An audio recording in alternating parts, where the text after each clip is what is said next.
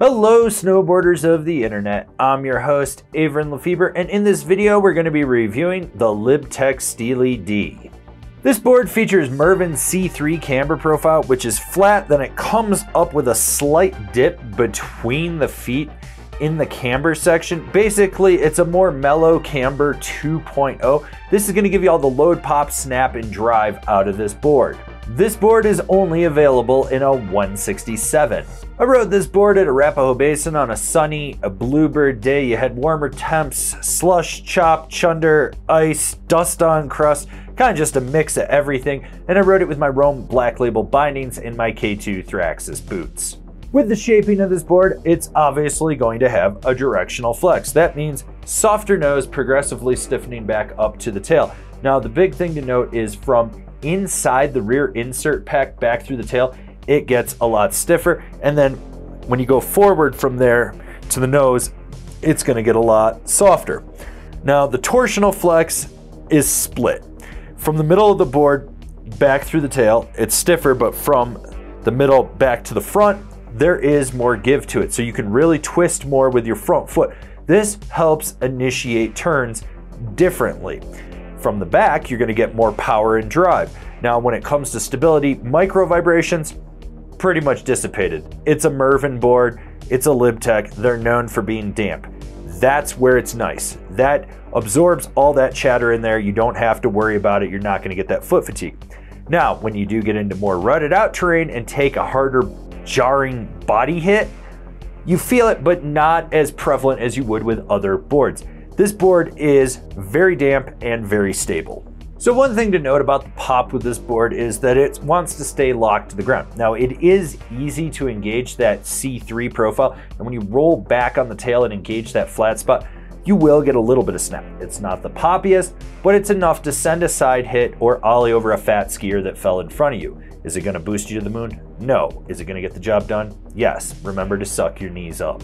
If you want to butter on this thing, it's a workout. It's a big board with an aggressive flex pattern. High speed wheelies on the tail, you're going to be leveraging your weight outside that rear insert pack. But swinging this board around to do a 180 and press into the nose, whew, you're not going to enjoy it. And when you do, you're going to realize why you don't want to butter with this thing. Stick to turning. You'll thank me for it later. So let's talk about why you came to this review. To hear how this thing turns. It turns exceptionally well. It carves great. You have a smooth and fluid edge to edge initiation outside the front foot, but it steers right underfoot, which really helps with that torsional flex and to guide this thing. But when you want power, it comes from just inside that rear insert pack back through the tail. This is a board that you can lay it over, disengage the front, and roop out a carve. Short, tight, quick carves, medium, mellow carves, long, hard, deep, drawn out carves, it's got you covered. And when you lay it over for a Euro carve, you feel locked in. This board turns exceptionally well. I cannot stress that enough. Who's this board for? The Resort Surf Carver. So when I grabbed this board, I wasn't sure what I was gonna get. I knew that it was gonna turn. I didn't know how well it was gonna turn. This turns exceptionally well. It's damp where you want it to be, which does a great job of just dissipating any of that kinetic energy, and it cuts through chop with relative ease. Like I said, it's a great turning board, and you notice the nuances of it when you're being more subtle and steering off the front foot, or you're driving it hard off the rear foot. It's one of those boards that kind of just lets you steer how you feel comfortable. And when you want to be aggressive, you can be aggressive. And when you want to be laid back, you can be laid back. Comparable boards the Korua Cafe Racer, the Jones Freecarver 9000, the Nidecker Gun.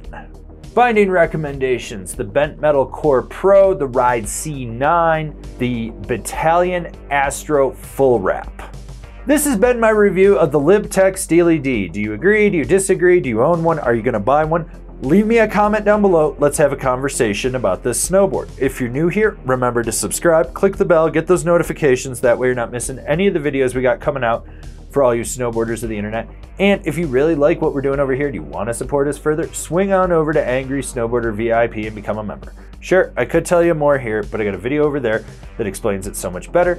As always, I've been your host, Avran LeFeber, and I'll see you in another video.